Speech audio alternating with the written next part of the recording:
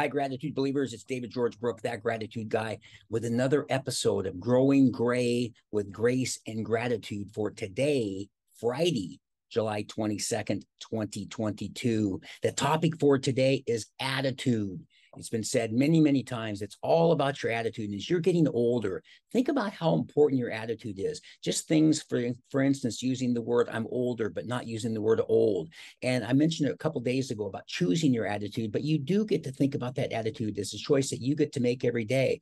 People have a positive attitude; they have a negative attitude. They're grateful; they're ungrateful. It's a choice that you get to make, but it's so, so very important. And if you choose a positive attitude, it's been proven over and over again. Two people go into a hospital with the same disease. The positive attitude lives, the negative attitude dies. So think about that and remember it's it's nobody else's decision except yours.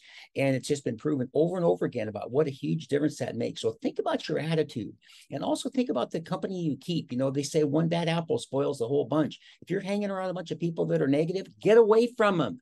It's not good for you mentally, physically, emotionally, spiritually, anything. You might want to think about a new group of friends, people that are, are going to encourage you and inspire you as opposed to bringing you down. So that's the message for today. Oh, and remember, please subscribe. If you like what you hear, hit the subscribe button and the notification bell. That'll give you a notification every time I send out a new video, which is Monday through Friday, every weekday. I'm the gratitude guy. Remember, be grateful and never quit.